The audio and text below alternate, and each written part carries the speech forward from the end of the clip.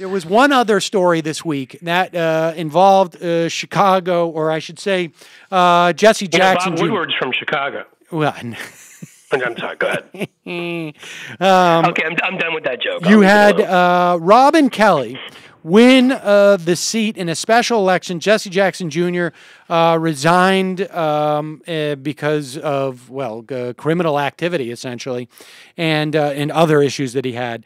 But uh, so this was a this is a, a solidly blue district. So it really was about the um, the Democratic primary um, with the with the uh, full disclosure that uh, you work for Mayors Against Gun Violence, not the organization that was involved in that race, but obviously um, a PAC that was. Mayor, Mayor Bloomberg is is, a, is one of the two co-chairs of Mayors Against Illegal Guns. Yes, Mayor Menino of Boston uh, also, Right. and, and and it's Mayor Bloomberg's super PAC, the Independence PAC, that put 2.2 million in there. Yes, Right. Eh, okay. So just it, it the, this changed the outcome of that race, and it was pivoted on uh, the the other uh, Democrat in this race who could have won because it was a wide open field. You only needed about 30, 33 percent to win uh, at that point.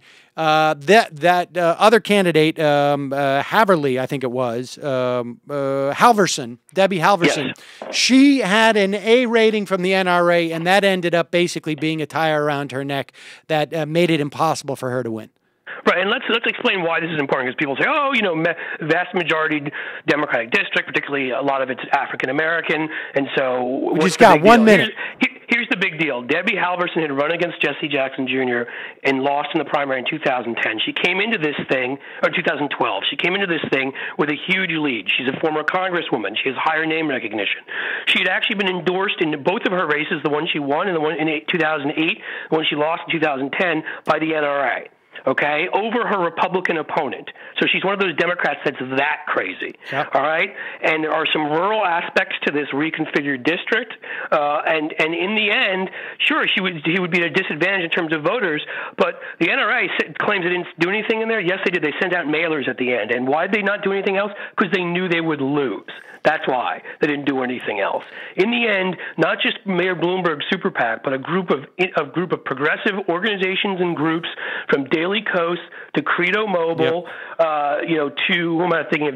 DFA, I think the PCCC and others who you, I know folks you have on this show made this race a priority, and as importantly to someone like me, made the gun issue a priority, and has realized, as I've been yelling on your show for way too long, and have annoyed probably almost everyone, even your last listener, if I've scared them away on it, that this was an issue that would be a winner. That this is an issue that when if you look at the changing demographics, the way gay marriage has become a winner uh, just in eight or ten years now, and, and the way standing up for contraception and abortion rights has become a winner, um, uh, standing up for immigration reform has become a winner. In addition to all of that, standing up for passing gun safety has become a winner. And there, yes, there will be exceptions.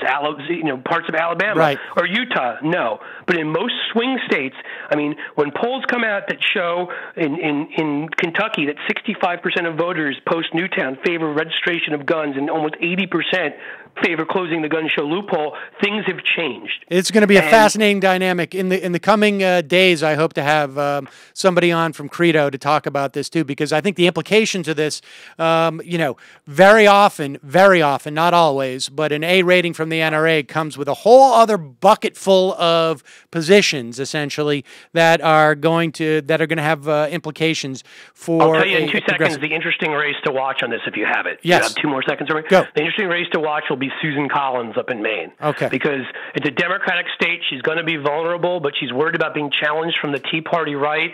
We'll see. Because if she does do that, if she moves to her right to try to head stuff off and doesn't support reasonable gun control measures, you're going to see that that's going to be an issue that she's going to have her butt kicked with up there. It'll, Mark- it's going to be interesting. Cliff Schecter's words, ladies and gentlemen. Cliff, thank you so much.